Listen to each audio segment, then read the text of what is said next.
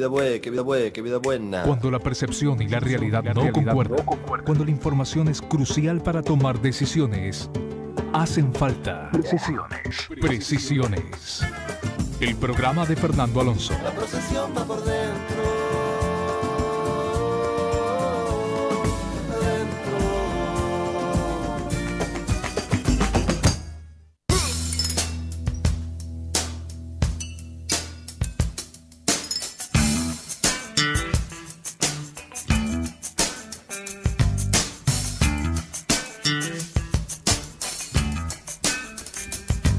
Tardes, 15 horas 6 minutos en la ciudad de Buenos Aires. Estamos con una temperatura de 14 grados 8 décimas en la ciudad y después de la tormenta de ayer, una semana donde parece que por lo menos mm, las probabilidades de que vuelva la lluvia son relativamente bajas. Están entre 20% para mañana y 10% para el resto de la semana. Una semana donde vamos a tener temperaturas mínimas mañana de 8 grados, después subiendo a 10, 11 y 14 grados para el jueves, viernes y sábado, y máxima que van a estar entre 15 grados mañana, 17 el jueves y el sábado y 16 el viernes. Mm, esperemos que eh, por lo menos de la ciudad se vaya alejando el mal clima y empiece a llegar la eh, primavera, que le falta todavía algunos días, pero está cerquita. Hacemos este programa que es eh, Precisiones todos los martes de 15 a 16 con Marcelo Batis que me acompaña en el estudio. Buenas tardes, Marcelo. ¿Qué tal? Muy buenas tardes. ¿Qué hace Fernando? Muy bien, con eh, Javier Martínez en la operación técnica y con Pilar Wolfert en la producción periodística. Un martes donde eh, la sensación de tranquilidad financiera y cambiaria eh, alienta a algunos funcionarios y algunos eh, operadores del, oficiali- del oficialismo a que eh, pueden todavía desarrollar una campaña en tranquilidad y con la aspiración de mejorar resultados de las pasos, pero con una estabilidad que está sustentada sobre una bicicleta financiera probablemente mucho más fuerte de la que veníamos eh, registrando hasta ahora, que era eh, cambiar dólares por pesos, colocar los pesos a alguna de las tasas que ofrecía el gobierno o el Banco Central y a comprar dólares eh, futuro para garantizarse esa rentabilidad. El que arriesgaba podía llegar a cifras ridículas de 20% de rentabilidad en dólares, el que quería una inversión conservadora podía llegar a ganar hasta 7% en dólares, lo cual era un disparate. Bueno, ese disparate que, en el que se desarrolló la economía argentina durante 2016, 2017, se aceleró en 2018 y en este 2019, ahora conocemos la nueva operatoria, el famoso rulo. Pero esto ya no está tan disponible para el inversor minorista, sino hay que tener un poquito más de eh, conocimiento y arriesgarse un poquito más. Una operatoria que implica comprar bonos de la deuda con dólares, venderlos con pesos y volverlos a comprar eh, los dólares en una operación que estaba rindiendo 7% por cada operación. Y esto son cuestión de minutos, porque uno vende, compra, vende y compra eh, prácticamente en forma sucesiva, puede demorar algunos minutos. Ayer se estaban haciendo 7% en cada operación. Claro que hay que tener el efectivo disponible.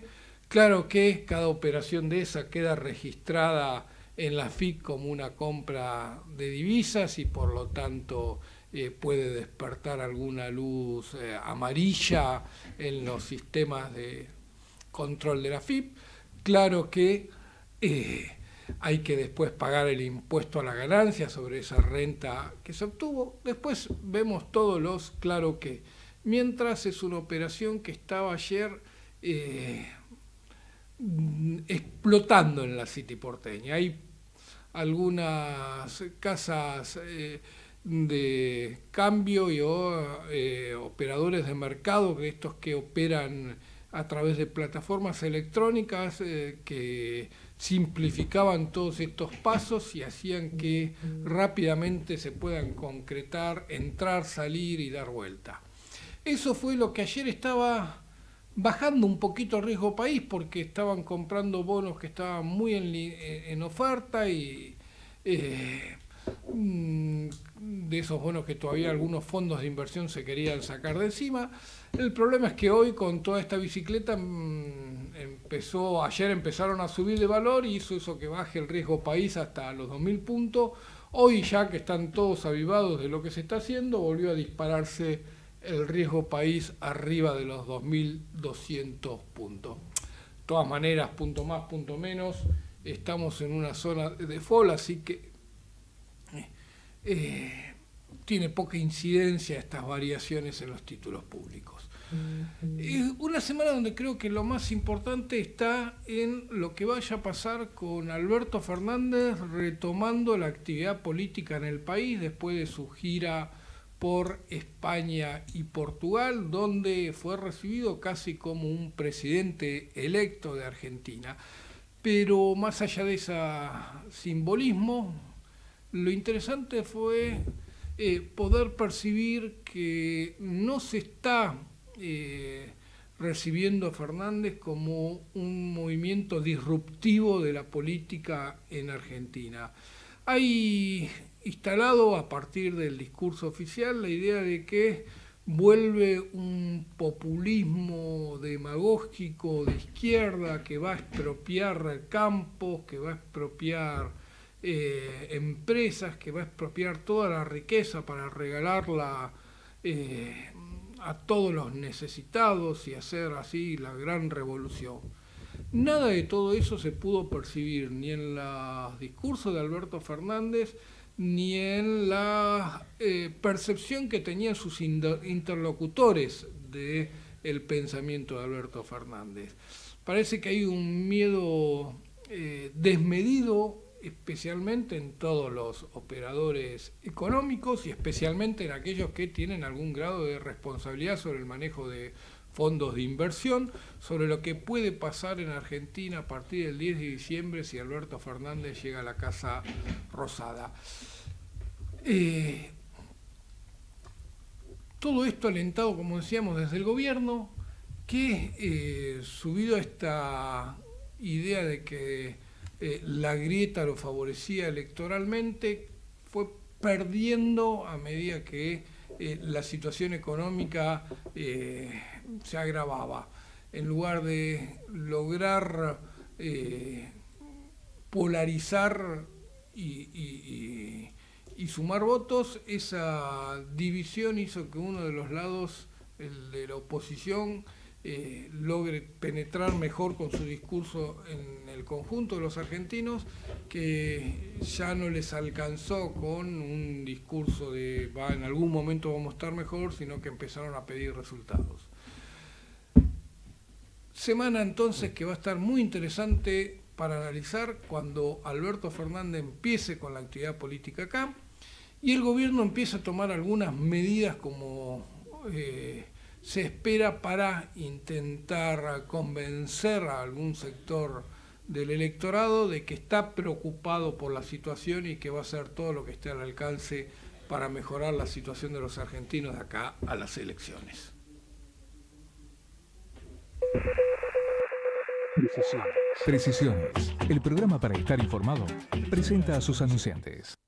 Podés tener una idea redonda o que tenga otra forma el tema es que funcione, como Banco Credicop, que te da las mejores promociones, ahorro y cuotas en miles de comercios y millas para que puedas viajar. Sumate a Credicop, una idea que tiene otra forma y que funciona. ¿Tenés Credicop? Tenés quien te acompañe. Banco Credicop Cooperativo, la banca solidaria. Aplicable a la cartera de consumo. Más información en www.bancocredicop.coop. ¿Sabes que puedes pagar menos en tu factura de luz? Ahorrar está en tus manos con el simulador de consumo de Enor. Ingresa ahora desde todos tus dispositivos a simulador.edenor.com.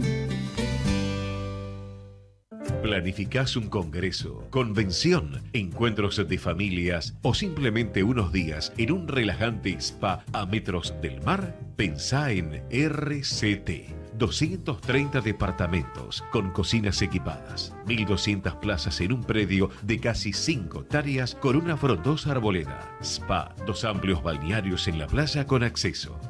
Exclusivo, salón comedor, dos restaurantes y uno tercero frente al mar. Una pileta cubierta semiolímpica más otras dos descubiertas. Espacios para niños, cine, teatro para 300 personas. Dos mega salones de usos múltiples para más de 600 personas. Cuatro office, anfiteatro, varios quinchos de libre acceso, estacionamientos propios, oficina bancaria. RCT, Club Vacacional y Spa. Demasiados atributos para un solo aviso. Santander Río está comprometido con el futuro del país, generando empleo y crecimiento en cada comunidad. Conoce más sobre nosotros y nuestras prácticas en santanderrío.com.ar y redes sociales.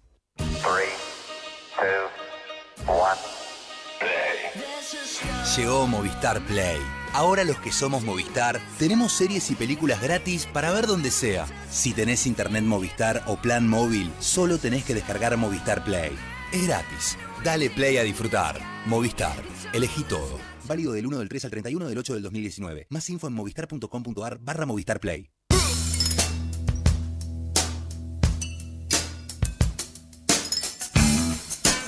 15, 17 minutos en la ciudad de Buenos Aires, estamos con 14,8 de temperatura y Marcelo, se está, eh, el, gobierno está estudiando la posibilidad de disponer un bono salarial para todos los trabajadores del sector privado. Eh, todavía no tiene un monto, dicen que lo resolverían recién después de conocer la inflación de agosto, pero que como el del Estado podría rondar los 5 mil pesos. Claro, 5 mil pesos para, eh, aclaremos, cuando hablamos de trabajadores del sector privado, estamos hablando de trabajadores registrados, obviamente, y en relación de dependencia. Esto que deja fuera a todo el sector informal, que es casi la mitad de la población, podríamos decir, deja fuera también a todos los monotributistas, a todos los autónomos. Eh, y hablando del sector privado, también deja fuera a al, sector público nacional, provincial y municipal. Sí, son unos 8 millones de trabajadores que están en, blanco en el sector privado de la economía. Sí, igualmente es, un, es una porción importante de la población y bueno, en este intento del gobierno de, bueno, todo lo que, todas estas medidas sacadas casi de urgencia después de del resultado de las pasos del 11 de agosto, que bueno, se fueron acumulando, con el propósito de a ver si, si con esto levantan un poco el consumo y, mejoran el, estado de ánimo de la gente a la hora de votar el 27 de octubre. Veremos si lo logran. Eh, hay, una situación rara porque eh, los trabajadores están claramente con el poder adquisitivo eh, menguado por la inflación, por paritarias que estuvieron corriendo de atrás a todos los precios, pero la situación del gran universo de empresas pymes es muy compleja y muy complicada y con una tasa de interés eh, que está la de política monetaria en 85%, 86%. 86 bueno, después eh, ya, ya me referiré en la columna sobre el tema, pero sí, hace que sea imposible acceder a cualquier financiamiento, por lo tanto es un momento complejo. Las empresas no tienen para disponer eh, de estos fondos y los trabajadores claramente están atrasados con el nivel de ingreso. Justamente sobre esto, eh, hace poco planteó Daniel Rosato de Industriales Pymes Argentinos el problema de las pymes exportadoras. Eh, obviamente la, proceso de exportar un, producto no, no, no, es una tarea que se, se, hace en pocos días, sino que lleva varios tiempos y la financiación a veces es a, a un año. Hay mm, operaciones de exportación que se hicieron antes de, la, de las restricciones cambiarias de, este domingo primero de septiembre. Y ahora cuando quieren descontar en un banco local las cartas de crédito, eh, no pueden. Y es un problema para muchos que tienen que esperar cobrar recién dentro de un año. Lo tenemos ahora en línea a Carlos Heller, el presidente del Partido Solidario. Heller, buenas tardes. Fernando Alonso, programa Precisiones, te saluda. ¿Qué tal, Fernando? ¿Cómo va? Muy bien, muchas gracias por, atendernos. Eh, en una situación compleja, estamos comentando esta nueva eh, pseudoestabilidad cambiaria generada a partir del corralito, pero a costa de un nuevo negocio. ¿Qué corralito, che? Bueno, del cepo, perdón. Perdón, del cepo. Eh, del cepo bastante light, ¿no? Estas restricciones a la compra de, de divisas. De divisas, sí. Que ha generado ahora un nuevo negocio financiero conocido como el rulo. Vos sabés que yo estuve tratando de entender qué es eso y no entiendo qué es eso. dice, compran dólares y, y no, ¿a dónde compran los dólares eso? Porque acá lo tengo delante yo no sé dónde compran los dólares. hay cosas que me, me superan. Este, porque lo que salió es una restricción. Las empresas no pueden comprar dólares y las personas pueden comprar 10 mil dólares por mes. Entonces, no sé cómo hacen el rulo. Este, la verdad y con esos 10 mil dólares. No, no, ¿Cómo? con 10 mil dólares. Ah, bueno, con 10 mil dólares puede ser que hagan eso. No, pero la operación no es comprar... Pero parece, parece muy de poca monta, ¿no? Para convertirlo en que eso es un problema de, la economía. Es una pequeña especulación hormiga que algunos podrán hacer. Todos aquellos que tienen 600 eh, mil pesos por mes para eh, por mes para ir y comprar dólares, ¿no? Sí, sí, aunque sea, lo harán de a 5 mil, de a 5 mil pesos, de 10 mil pesos, vaya a saber cómo es la operación. Pero no, pero digo, por eso, pero, pero no creo que eso sea un tema que mueva la economía o que, que, altere las variables o las reservas, o que son las cosas que, que importan. Después que haya algunos pícaros que se la rebuscan haciendo ese tipo de cosas, puede ser, qué sé yo, pero no, no, no, no no me da la impresión que pase a ser un problema de la economía. A ver, ¿qué eh, querés que te diga? Eh, estamos viendo uh, distintos valores del dólar. El dólar en el mercado oficial que está a 58, el dólar negro que está un peso arriba, el dólar MEP que estaba a 60 y el dólar contado con liquidación que estaba a 64. Por decir cifras redondas, hay hasta un 15% de diferencia entre un dólar y otro. Eh, ¿Esto está afectando el funcionamiento del mercado, el funcionamiento de la economía, Heller, o esto eh, ya en el, en el estado Siempre que se ponen restricciones eh, cambiarias, se generan este, los, mercados paralelos, como pasa con todas las medidas que de controles. Uno sabe que cuando vos controlás, este, hay siempre una marginalidad, pero eh, no altera el problema, porque primero, la plata que se mueve, lo que, llamamos, vamos a llamar el dólar negro, no está en las reservas, esa plata está fuera las reservas, que tiene gente que juega con esa plata, que está en las cuevas, que se mueven, en, uno compra, el otro vende, pero no afecta a las reservas del país, de ahí no salen. Las reservas que se afectan son las que están a disposición de los bancos para que los bancos las pongan a disposición de los titulares de depósitos este, para que si se las quieren llevar se las llevan y que es la razón de ser de esas medidas de restricciones cambiarias para que efectivamente y cambiarias y, las que tienen que ver con este, el reperfilamiento para usar el término eh, que se ha denominado toda esta operatoria para que eh, no se afecten dólares de la reserva para los vencimientos que hay en los próximos meses que de, si no se hubieran reperfilado, hubieran significado un problema. Con la combinación de esas dos medidas, eh, el sistema financiero tiene creo que 27 mil millones de dólares de depósitos. Eh, si vinieran todos a buscarlos, cosa bastante poco probable, este, eh, estarían los dólares y el país se caería con una posición de dólares mucho más chica pero no pasaría más que eso, lo cual no es poca cosa. Por eso mismo la corrida esa que se inició y que lo llevó al gobierno a tomar estas medidas tardías como las tomaron, este, pararon la, la, salida de, dólares que hoy prácticamente, yo te diría, el sistema está operando con normalidad absoluta esta normalidad que uno ve, el, que estás describiendo en el mercado de cambios, eh, trasladado a la economía real, ¿cómo llega? Es gravísimo porque el problema real es que esto está sustentado en que eh, las LELIC están al 86%, los plazos fijos que tienen los depositantes para no pasarse a dólares están en el alrededor del 60 o no sé cuánto, alrededor del 60%, este las tasas que paga una empresa o una persona para tomar un crédito es altísimo y entonces todo eso tiene un efecto grave, recesivo, que profundiza la, la, la crisis. Para mí, el, dato eh, más impactante que yo he visto hoy en los diarios eh, es este de que eh, con la proyección que hay de caída del PBI para el año 2019, a fines del 2019 el PBI per cápita va a ser un 8.4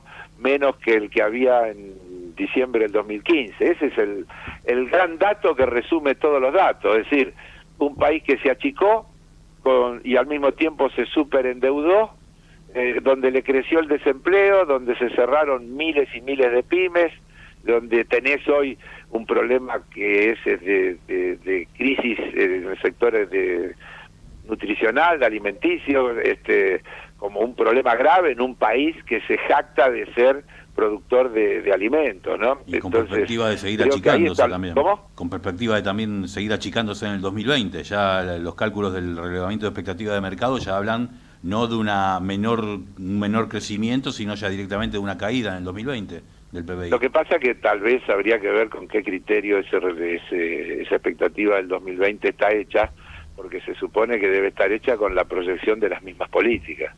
Eh, como yo pienso que a partir del 10 de diciembre va a haber otras políticas, es muy probable que esa tendencia se revierta. Ahora, esa política tiene una herencia, digamos, inevitable. Sí, claro, inevitable, es así, es clarísimo.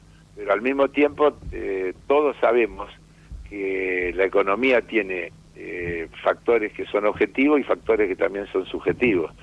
Si cambia el, el sentido de las políticas y el, el humor de la ciudadanía, este, si, si la gente recibe un peso más verdadero en su bolsillo y lo vuelca al consumo y eso comienza a poner en marcha un, un proceso eh, productivo positivo, eh, las cosas empiezan a ser diferentes, rápidamente empiezan a ser diferentes. Eh, Todos sabemos que es así.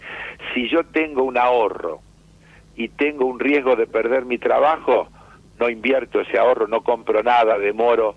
Si yo estoy tranquilo porque no estoy en un momento que se pierde en puesto de trabajo, me animo no solo a usar ese ahorro, sino a tomar un crédito para este, adelantar un ahorro a través de lo que es el acceso a un crédito para comprar un bien, para cambiar algo, como pasó en, los años de, la gestión anterior. Eh, Carlos, hay eh, instalado eh, a partir de un discurso oficial probablemente la idea de que el próximo gobierno es disruptivo, es eh, un gobierno populista de izquierda que viene a expropiar riquezas y a distribuirlas sin criterio económico. bueno, en todo caso sería con otro criterio económico, pero no importa. a ver, no, yo no le escuché a Alberto Fernández, la verdad, decir nada que se parezca a esto, Fernando lo que está diciendo... O sea que, Pero perdóname, eh, Carlos, antes que avances, eh, seguramente desde tu rol eh, habrás, recibido consultas de inversores, de empresarios, de agentes que están preocupados por lo que puede venir. Mira, primero yo te quiero explicar que, vos lo sabes, yo dirijo una entidad que tiene su eje casi yo diría el 90% de su actividad volcada a lo que es la actividad interna del país, a las pymes y a las personas.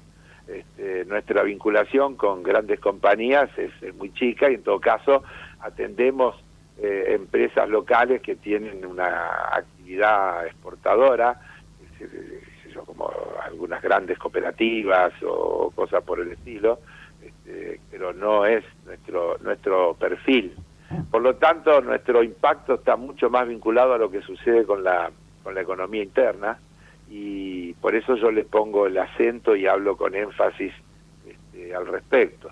Eh, la realidad, la realidad es que este, lo que yo percibo cotidianamente es que hay mucha expectativa en ese nuevo proceso que va a empezar a partir del 10 de diciembre, porque incluso hay mucho desencanto de gente que creyó este, en promesas que se le hicieron y que está profundamente decepcionada. Y eso es lo que marca el resultado que se vio en, en, las pasos, ¿no es cierto? Creo que no, no hay ningún misterio, lo hemos hablado eh, en distintos escenarios infinidad de veces.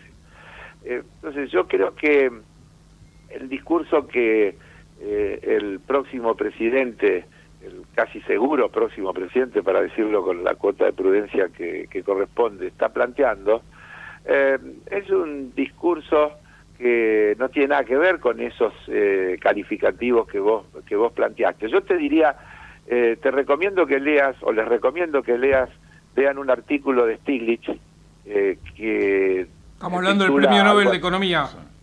¿Cómo? Del Premio Nobel de Economía. El Premio Nobel de Economía, exacto. Stiglitz, Premio Nobel de Economía, que él dice el neoliberalismo murió y dice que hay tres este, posibles reemplazos de eso, ¿no? Eh, habla de Estados Unidos, porque él está refiriéndose, él habla, lo dice, se refiere a Estados Unidos y a los eh, y a los países centrales. No se ocupa ni siquiera de, de lo que podríamos llamar los países en vía de desarrollo. Entonces él dice, hay tres alternativas. La derecha xenófoba, que ve todos los problemas en los inmigrantes y, bueno, todas estas cosas que conocemos. Eh, lo que él llama eh, la centro-izquierda laico, algo por el estilo, tipo Tony Blair, eh, que plantea las mismas cosas que el neoliberalismo con algunos retoques, y lo que él llama luego el capitalismo progresista.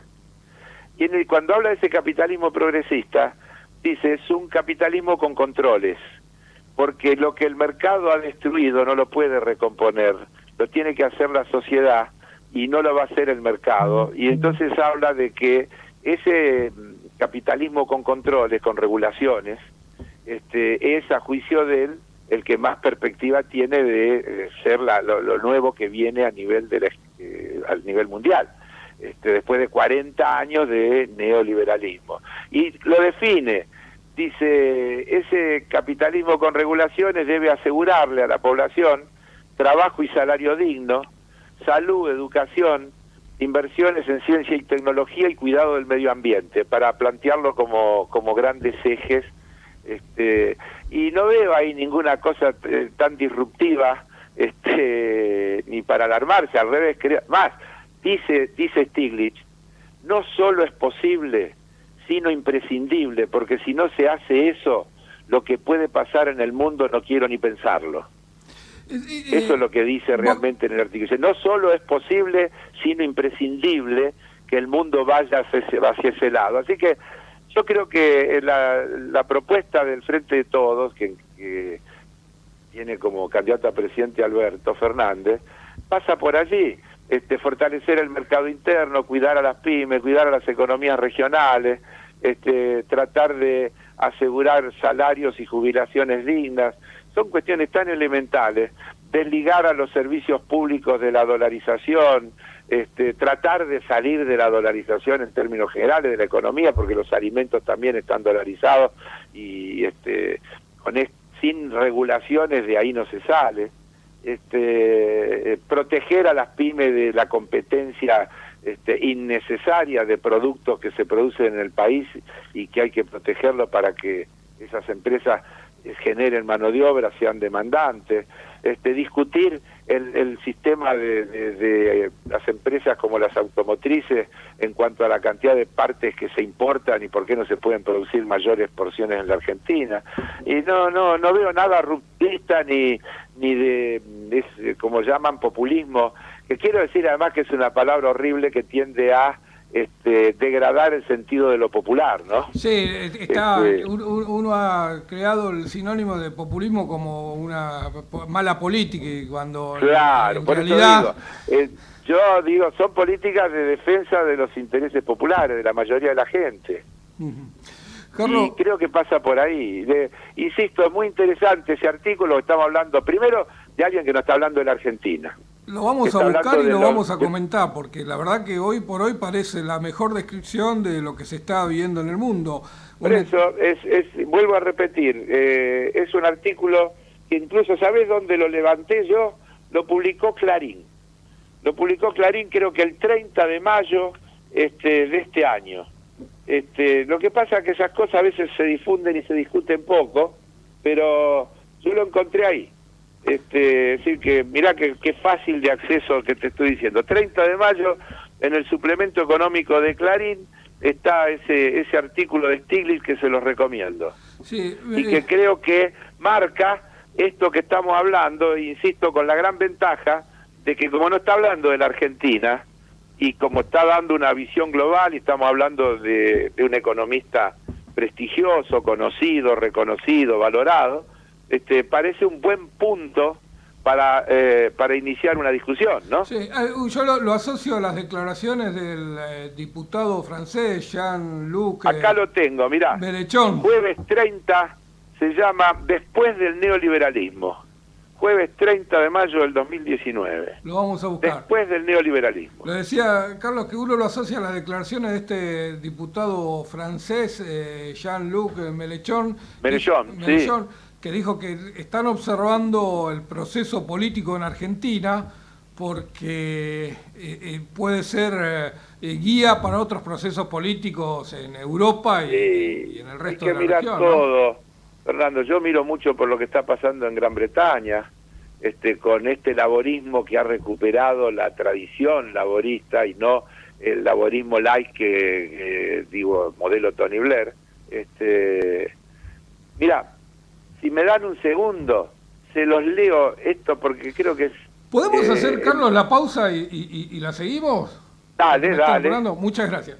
Dale. Ecomedios.com AM1220. Estamos con vos. Estamos en vos. Descarga gratis de tu celular la aplicación Ecomedios. Podés escucharnos en vivo, informarte con las últimas noticias y entrevistas en audio y video. Búscala y bajate la aplicación Ecomedios. Podés vernos en vivo en ecomedios.com. Contenidos audiovisuales. La actualidad económica, la realidad política, precisiones.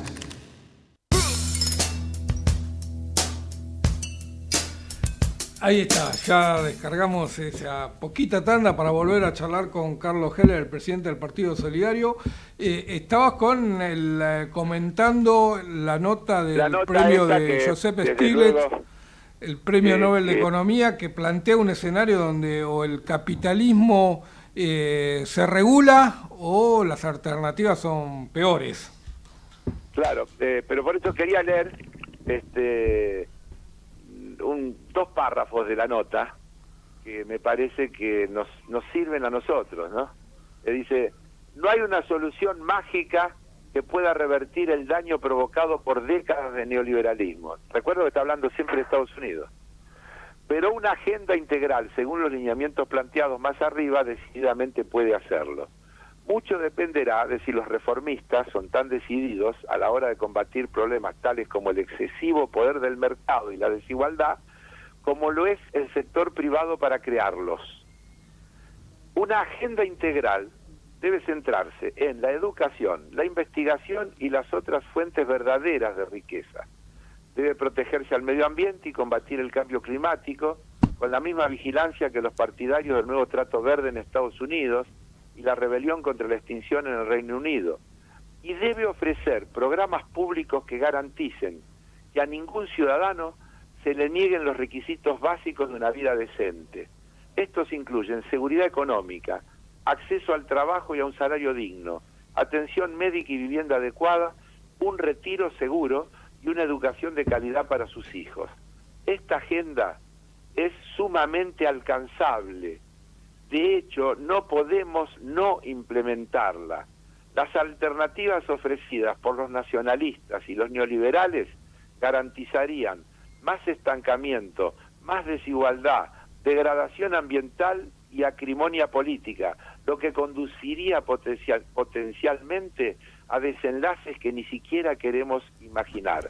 El capitalismo progresista no es un oxímoron, más bien es la alternativa más viable y vibrante para una ideología que claramente ha fracasado. Como tal, representa la mejor oportunidad que tenemos de escapar de nuestro malestar económico y político actual. ¿Qué Ahí está, parece? ahí está, Carlos. ¿Sabés que de cuando estaba rematando esa lectura, eh, pensaba en un capitalismo socialista como eh, la probablemente mejor equivalencia al cooperativismo, ¿no?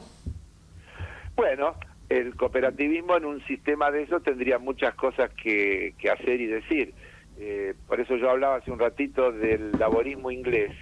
Eh, el, el laborismo inglés tiene una plataforma en el que plantea recuperar para la gestión pública los grandes servicios públicos.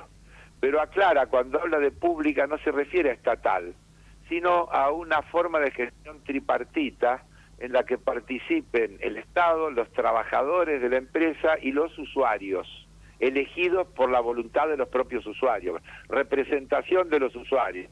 Así como se eligen consejeros para los consejos escolares, digamos. Este, Así como los capitalistas eligen directores, en eh, los accionistas Exacto, eligen exacto. directores en una empresa, los usuarios podrían elegir directores en una compañía y. Corbyn habla todo el tiempo de eso como mm, este, una manera de recuperar este, para la ciudadanía, digamos, este, posibilidades de, de una vida mejor. Y cuando uno piensa en la Argentina, y vos Fernando ya me lo escuchaste decir varias veces, y yo no creo que sea para mañana, pero no deberíamos pensar en volver a debatir si los servicios públicos no deben ser prestados por entes que no tengan como objetivo la maximización de la ganancia, sino la prestación del servicio. Es decir, si vos definís que el agua, la luz, este, el gas no son, no deben ser vistos como una mercancía, sino como un servicio esencial que garantiza la- las condiciones de vida de las personas, de las familias, etcétera. ¿Por qué no pensar que eso puede estar brindado y prestado por organizaciones, por empresas cuyo fin es dar ese servicio en las mejores condiciones de, calidad y precio? Y eso es una cooperativa o una empresa pública no estatal como esta que yo te describí antes cuando daba el ejemplo de lo que plantean lo- los laboristas ingleses. Entonces yo creo que son temas que son debates que nos merecemos, que, que debemos hacerlo con, con amplitud, con, con reflexión, pero ¿por qué tenemos que tener eh, dolarizada la tarifa de algo que se extrae de las entrañas de la tierra nuestra, que la operan trabajadores nuestros que tienen salarios que nuestros, que se trasladan por caños que están en el país, etcétera, y que lo único que tienen dolarizado es el precio. La ganancia de las ¿Cuál es la lógica de eso? Carlos, te agradecemos mucho esta conversación con precisiones eh, y bueno, seguiremos en el Gracias futuro. por el tiempo, ha sido generoso, ustedes me han dejado. No, no, la verdad, la verdad que sí. explayarme. Vos sabés que es muy interesante escucharte y acá eh, nos podemos dar ese privilegio. Bueno, pero después del rulo no me preguntes porque... Lo vamos a estudiar ahora, vamos a estudiar a ver Dale, cómo es. Bueno, chao. Un gusto. Fue Carlos Heller, el presidente del Partido Solidario. Eh, me parece que, es interesante eso que plantea Marcelo de que eh, lo que se viene, eh, si finalmente se concreta la elección de Alberto Fernández como próximo presidente argentino, no es un- un- una revolución eh, socialista, sino un capitalismo No, pero igualmente la... con control del Estado, ¿no? Si hablamos de las expresiones que pudo haber dicho yo, Grabois o algunos otros personajes que realmente no forman parte del círculo más, más- más cercano de, de Alberto Fernández, digamos, en todos los partidos y más en los partidos grandes hay, hay diferentes posiciones, pero de última la que prima la, la, la- la- la posición central, que es la que encabeza el, el- el presidente o, o la, la- la figura principal de- del respectivo partido, en este caso Alberto Fernández sería. Así es. Vamos ahora a una tanda y seguimos. Podés tener una idea redonda o que tenga otra forma. El tema es que funcione, como Banco Credicop, que te da las mejores promociones, ahorro y cuotas en miles de comercios y millas para que puedas viajar. Sumate a Credicop, una idea que tiene otra forma y que funciona. ¿Tenés Credicop? Tenés quien te acompañe. Banco Credicop Cooperativo, la banca solidaria. Aplicable a la cartera de consumo. Más información en www.bancocredicop.coop. ¿Sabes que puedes pagar menos en tu factura de luz? Ahorrar está en tus manos con el simulador de consumo de Enor. Ingresa ahora desde todos tus dispositivos a simulador.edenor.com. Planificás un congreso, convención, encuentros de familias o simplemente unos días en un relajante spa a metros del mar? Pensá en RCT. 230 departamentos con cocinas equipadas, 1.200 plazas en un predio de casi 5 hectáreas con una frondosa arboleda, spa, dos amplios balnearios en la playa con acceso. Exclusivo, salón comedor, dos restaurantes y uno tercero frente al mar. Una pileta cubierta semiolímpica más otras dos descubiertas. Espacios para niños, cine, teatro para 300 personas. 12 mega salones de usos múltiples para más de 600 personas. Cuatro office, anfiteatro, varios quinchos de libre acceso, estacionamientos propios, oficina bancaria. RCT, Club Vacacional y Spa. Demasiados atributos para un solo aviso. Santander Río está comprometido con el futuro del país, generando empleo y crecimiento en cada comunidad. Conoce más sobre nosotros y nuestras prácticas en santanderrío.com.ar y redes sociales.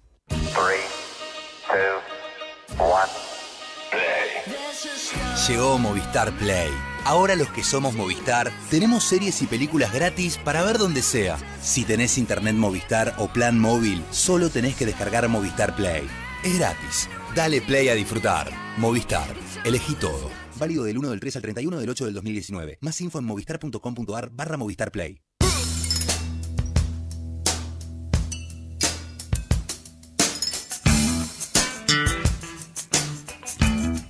15.48 minutos en la ciudad de Buenos Aires, con una temperatura que ahora está en 15 grados 4 décimas. Y con esto damos eh, paso a la tradicional columna de Marcelo Batis, que es presentada por... Planificás un congreso, convención, encuentros de familias o simplemente unos días en un relajante spa a metros del mar? Pensá en RCT. 230 departamentos con cocinas equipadas, 1.200 plazas en un predio de casi 5 hectáreas con una frondosa arboleda, spa, dos amplios balnearios en la playa con acceso. Exclusivo, salón comedor, dos restaurantes y uno tercero frente al mar. Una pileta cubierta semiolímpica más otras dos descubiertas. Espacios para niños, cine, teatro para 300 personas. 12 mega salones de usos múltiples para más de 600 personas. Cuatro office, anfiteatro, varios quinchos de libre acceso, estacionamientos propios, oficina bancaria. RCT, Club Vacacional y Spa. Demasiados atributos para un solo aviso.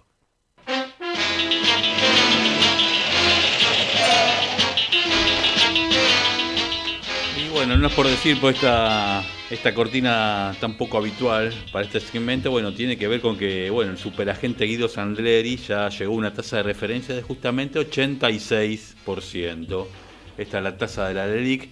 Bueno, eh, estamos exactamente, según el, último dato de tasa promedio general, eh, nueve milésimas debajo. Cerró en 85,991% el promedio de, de las dos licitaciones. Igualmente, cuando se toma la tasa máxima, ya se pasó el 86% por una diez milésima, esas precisiones que se dan ahí, como decía Jaureche, si uno quiere ser, uno quiere, la quiere pasar de inteligente, tiene que hablar con decimales, ¿no? 86,0001%, esa fue la tasa máxima de las LEDIC. Hoy y en los últimos días viene siendo así. Y cuando hablamos de tasa de referencia, queremos decir la, tasa promedio general, como estamos hablando de las famosas LELIC.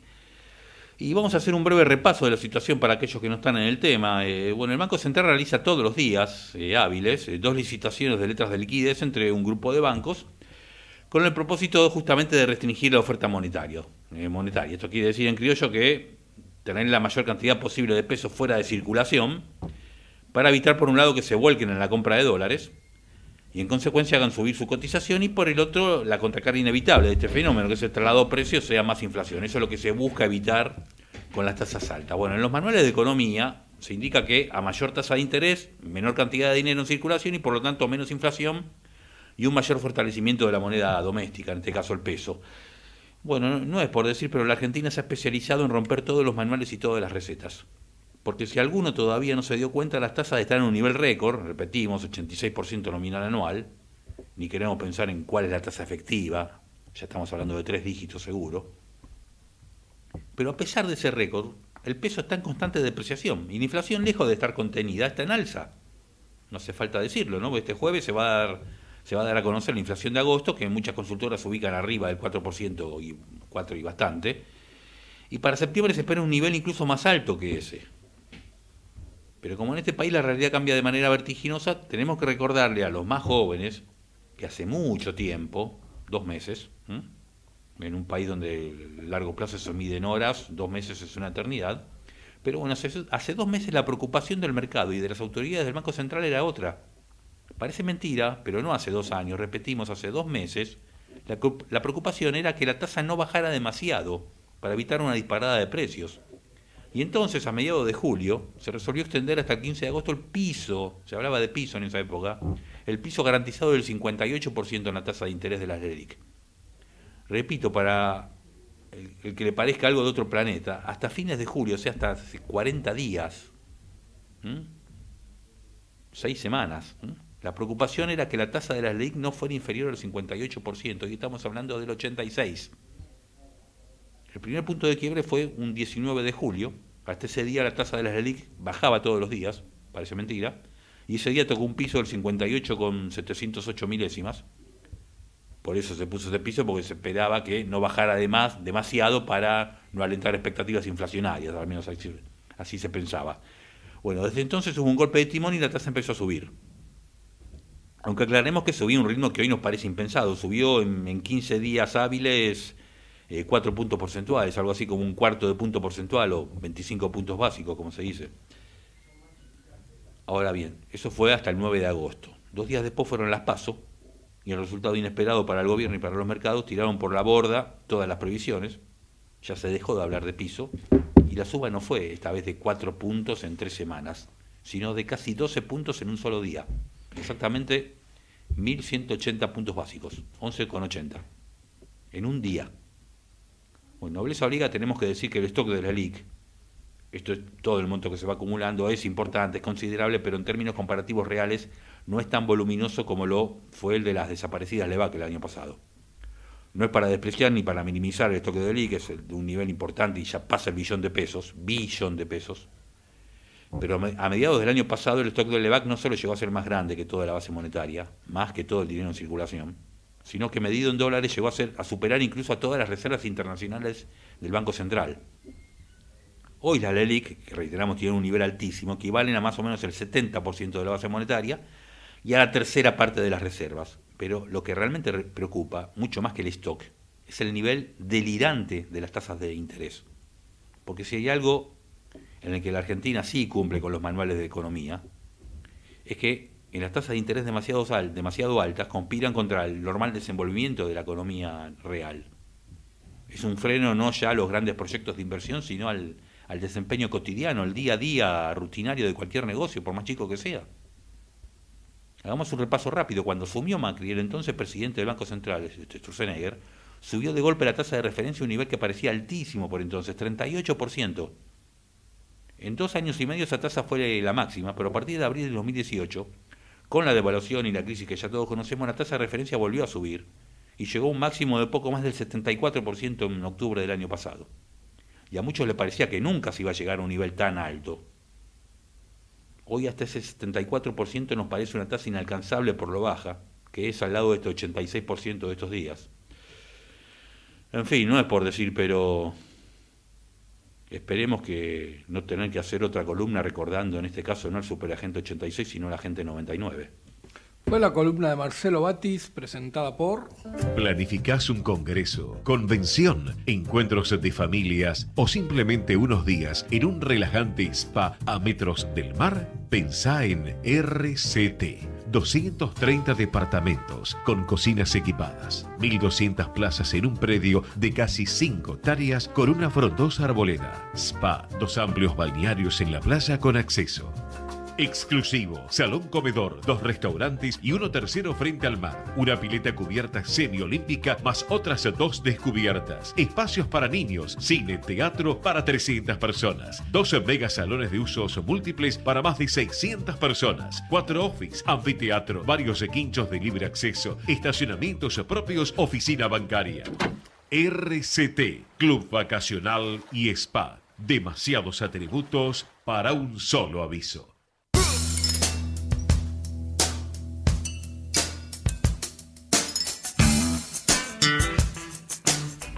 15.55 minutos y vamos con algo de información institucional. Los de PIM incorpora la octava y más reciente sede de diagnóstico Maipú, que se ubica en el kilómetro 48 y medio de la colectora panamericana Pilar y cuenta con 3.500 metros cuadrados de instalaciones de vanguardia.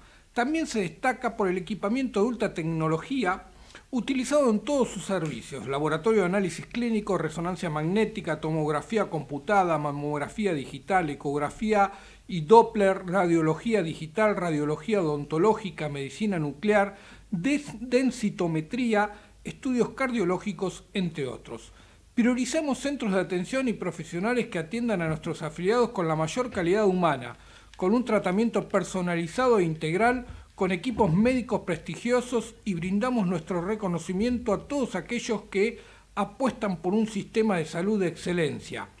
En este sentido, Diagnóstico Maipú cuenta con un plan de calidad certificado bajo las normas IRAM, ISO 9001-2008 y ha obtenido la acreditación del CENAS, el Centro Especializado para la Normalización y Acreditación en Salud, gracias a su permanente actualización tecnológica y de última generación y un estricto control de calidad, comentó José Bereciartua, el interventor en OSDEPIM.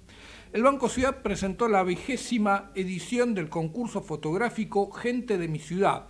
Este evento invita a fotógrafos aficionados y profesionales argentinos o residentes en el país, así como también a cooperativas y asociaciones civiles cuyo objeto sea la producción fotográfica, a presentar hasta dos fotos específicas de la ciudad de Buenos Aires en color o blanco y negro que divulguen algún aspecto de la identidad porteña. Las tomas deben tener al menos una persona en las fotografías y deben dar cuenta del espacio geográfico, barrio, localidad o espacio público donde fue efectuada la toma. Hasta el 7 de octubre está abierta la inscripción a través de la web en www.concursogentedemiciudad.com. La inscripción en el concurso es totalmente gratuita y busca estimular la creatividad, proporcionar las producciones artísticas independientes, así como divulgar y preservar aspectos y costumbres sociales que forman parte del patrimonio cultural de la ciudad de Buenos Aires. La Unión de Aseguradoras de Riesgo de Trabajo junto a FISO llevarán a cabo un nuevo seminario de su ciclo Prevenir acerca de prácticas seguras en el ámbito agropecuario. El encuentro se realizará el próximo viernes 27 de septiembre en el auditorio de la Facultad de Ingeniería de la UNICEM. La entrada es libre y gratuita, aunque requiere inscripción previa en www.wardprevenir.org.ar.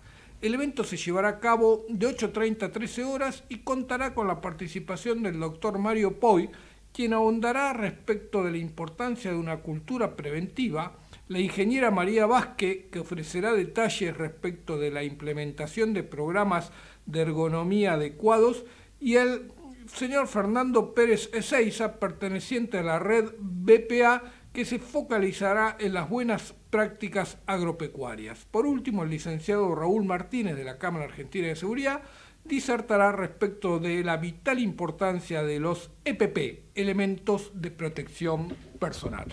Muy bien, Marcelo, ya llegamos al final del programa. Eh, nos despedimos hasta el próximo martes. Como no, nos vemos entonces dentro de siete días.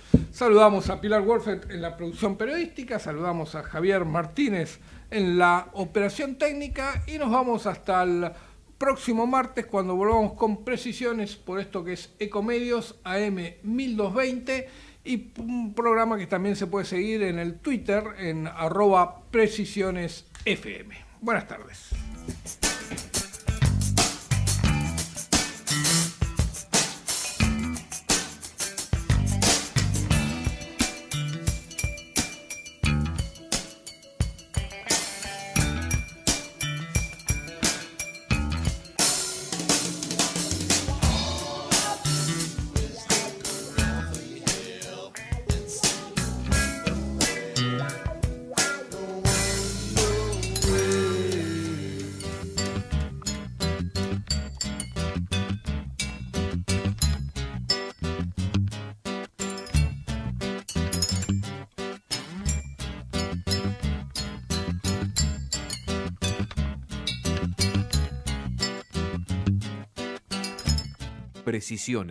Fue una realización de El Tablero Producciones.